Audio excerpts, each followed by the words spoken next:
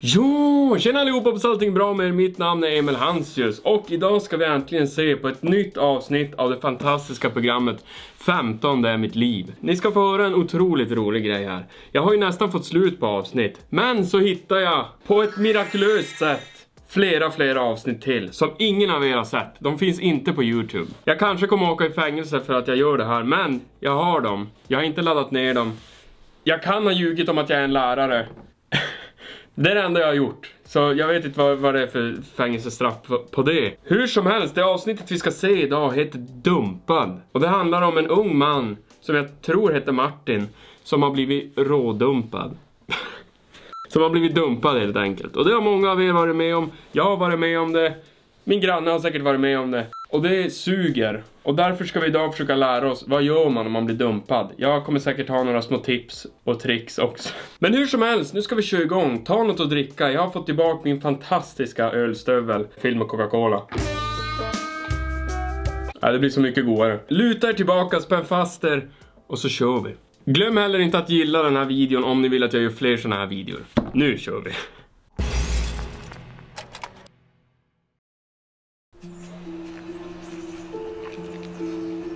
Jag och min tjej hade varit ihop i nästan ett och ett halvt år. Jag tycker så sjukt mycket om henne. Hon är allt för mig. Min tjej, min bästa vän. Allt var så bra.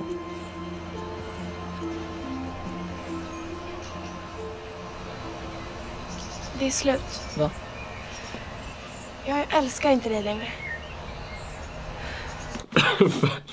Alltså, jag skrattar inte. Det är inte kul. Det är absolut inte kul. Men det jag skrattar åt är att det där kom som en blixt från en klar himmel. Från ingenstans. De hade en sån fantastisk dag. Han såg så lycklig ut. Hon såg så lycklig ut. De gick i en fantastisk park i säkert Kalmar eller någonting. Det var sommar, det var varmt. Och de sätter sig ner och hon droppar världens bomb. Lille Tina och lille Mads har varit tillsammans i tio år. Och lyckliga kan ingen vara.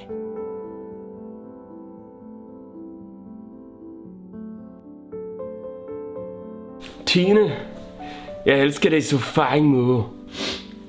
Jeg hoppas. Ja, Jeg hoppas. ja vad hoppas du på med kasse? Jeg hoppas det blir påskud med lastbil. Vad? Det funkar inte längre. Vi kanske bara kan göra ett uppehåll. Varför då? Jag är inte kär i dig längre. Bra. Det kändes som jag skulle gå sönder. Hela livet bara rasade ihop. Jag tror inte att någon som inte varit med om det kan fatta hur det känns. Han har rätt i det där att det är en fruktansvärt märklig känsla som man aldrig har känt förut. Och man kan inte ens förklara den känslan för någon som inte har varit med om samma sak. Och en märklig tanke som jag brukar tänka på när förhållandet tar slut, det är att personen som du har kunnat säga allting till, är du helt plötsligt rädd att säga någonting till. För det är ju verkligen så att du har kunnat säga allting till den här personen, ni har delat allting och sen när det där tar slut, då blir du helt plötsligt livrädd för att säga något till personen. För det kan användas mot dig på olika sätt och man litar inte på personen längre och allt man hade har helt enkelt krossats. Det är så han känner nu och det suger. Jag ser till och med på bilden där jag har stoppat hur förkrossad han ser ut där. Bra skådespeleri i den där freeze-framen i alla fall.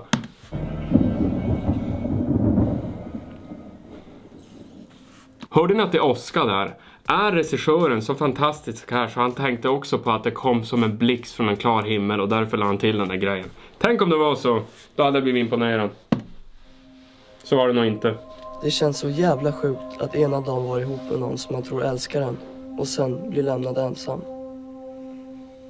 Ja, men det kommer bli bättre. Om inte annat så... Du kan väl försöka prata med henne? Käften morsan, gå och deklarera eller gör korv och makaroner. Pissdåligt, pissdåligt, pissdåligt. Hur många gånger ska jag säga pissdåligt? Pissdåligt råd. Fruktansvärt. Varför ger hon ett sånt råd? Lyssna på mig istället Martin Boy. Gör inte så, prata inte med henne om mer. Nu är det över. Det, går, det finns inget du kan säga, inget du kan göra som kan få henne att ändra sig, tror jag i alla fall. Och även om hon ändrar sig, vill du ha tillbaka någon som vacklar sådär? Nej, det vill du inte Martin. Ta bort din... Ta bort din mamma från sängen, hon ger inga bra råd. Sämst är hon. Nu är jag hård mot mamma men hon förtjänar det. Dåligt råd.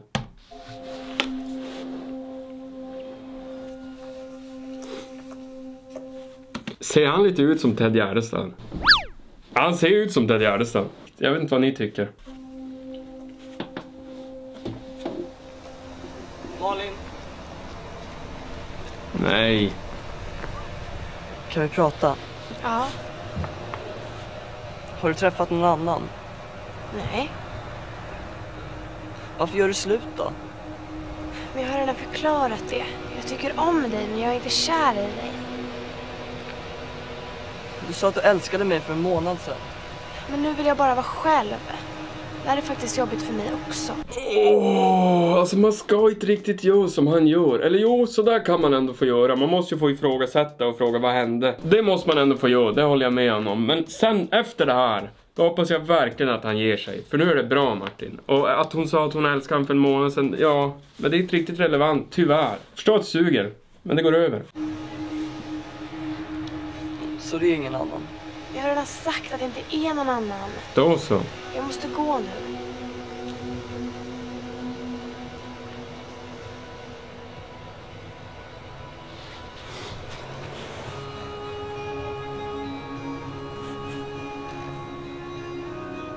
Nu går han hem och skriver sol, vind och vatten.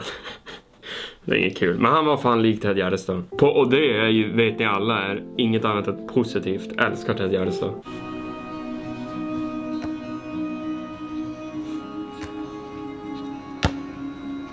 Vänta, vänta, vänta. Vad var det där? Såg ni han fira att han satte bollen? Vi måste spåra tillbaka. Han sätter den. Det var så jag gjorde när jag, när jag fick 100 000 prenumeranter.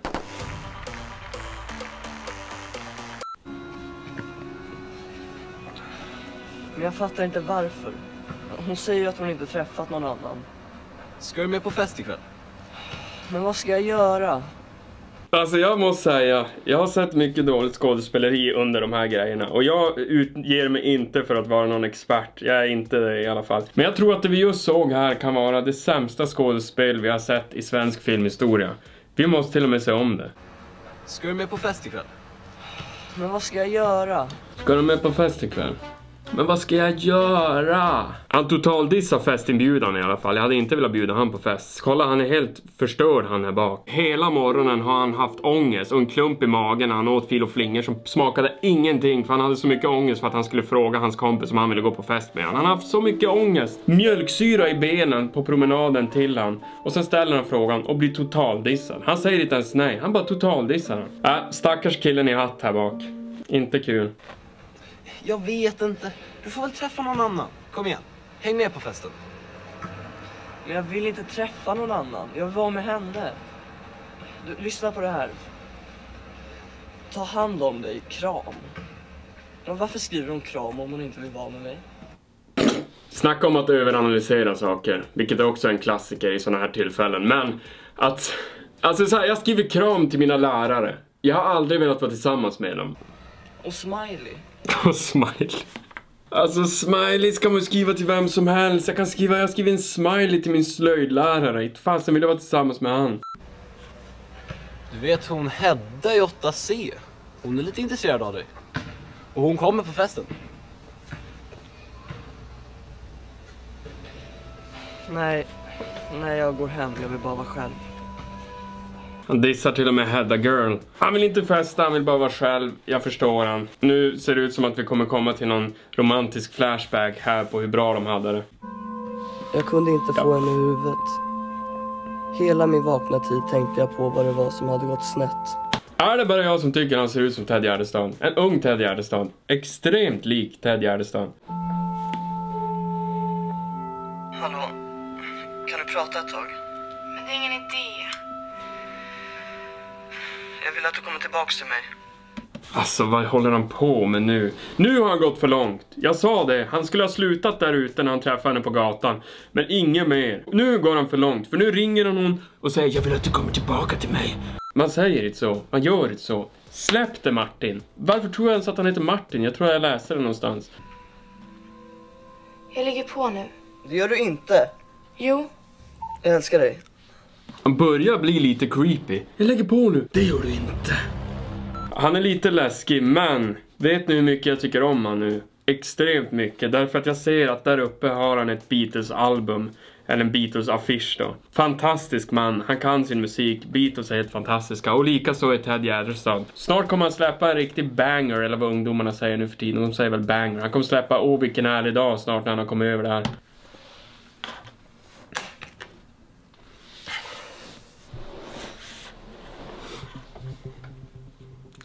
Så en dag, när jag råkade gå förbi hennes hus. När jag råkar i... Alla vet här, alla som tittar på den här videon, alla som tittar på dig, alla som tittar på mig. Alla vi vet att du fan inte har råkat gå förbi henne, hennes hus. Vi vet att du har stått där i timmar, i dagar, i veckor. Du har säkert ett litet tält bakom häcken här. Ljug för henne, men ljug inte för oss. Och inte för dig själv. Så en dag, när jag råkade gå förbi hennes hus, så såg jag dem. Det var som att någon högg en kniv rakt i hjärtat på mig.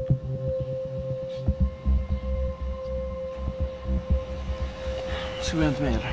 Det här känns stelt hörni. Hon har en ny Casanova. Där har vi den, hennes förra Casanova. Han går med raska steg mot någon. Så där går man bara om man typ ska slå någon. Jag kan visa hur man går då.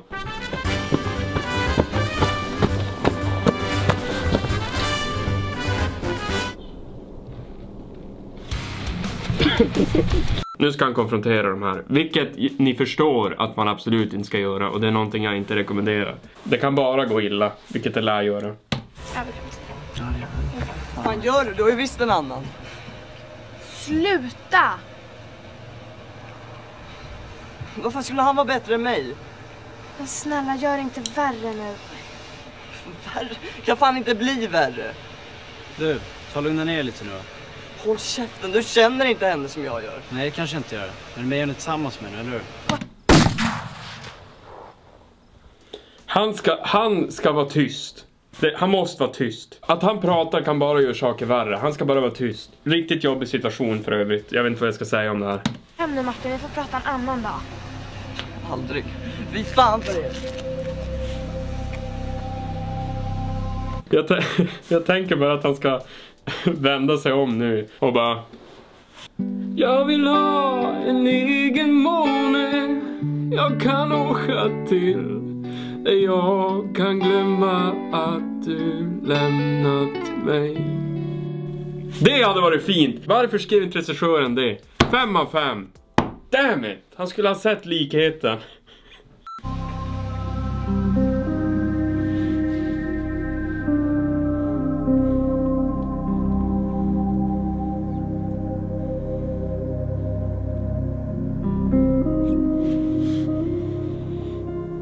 Jag vet inte hur jag ska få henne att älska mig igen.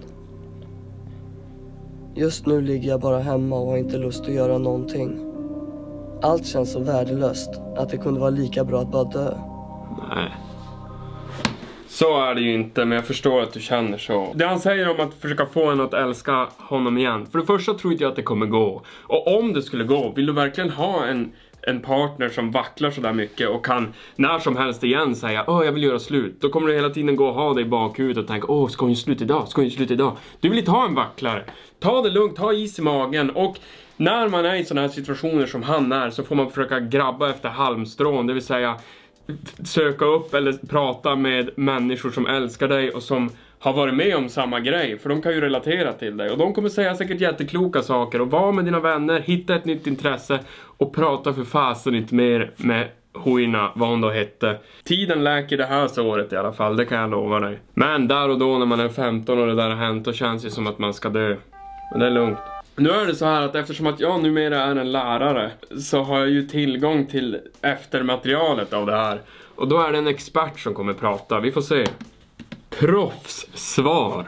Inte dåligt självförtroende på personen som kommer komma upp nu. Proffssvar.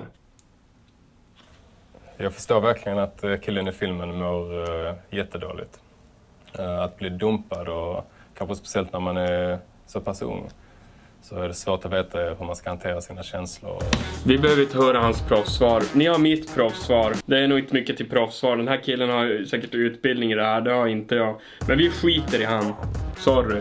Hur som helst hörni, det finns ju tyvärr inga kommentarer heller eftersom att den här inte är på Youtube. Men Det får ni stå för. Kommentera något kul, få mig att skratta, kommentera vad ni tycker man ska göra i en sån här situation som han är i. Om ni håller med mig eller tycker att jag bara är dum i huvudet så skriv det. Jag tycker om att läsa och höra från er. Sen får ni bara ha det så himla bra så ses vi igen snart på söndag i en ny video. Hej!